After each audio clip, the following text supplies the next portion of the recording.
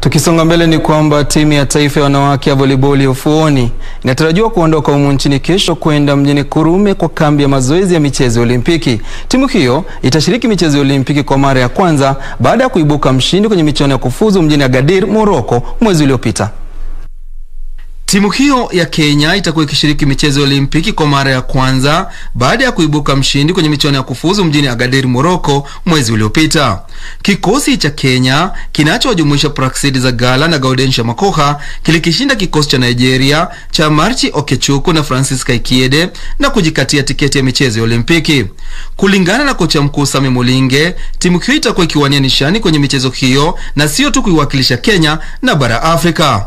Kwa sasa timu hiyo iko jijini Nairobi ili kufanyia uchunguzi wa virusi vya korona kabla ya kuondoka kesho kuelekea Kurume kwa kambi ya mazoezi.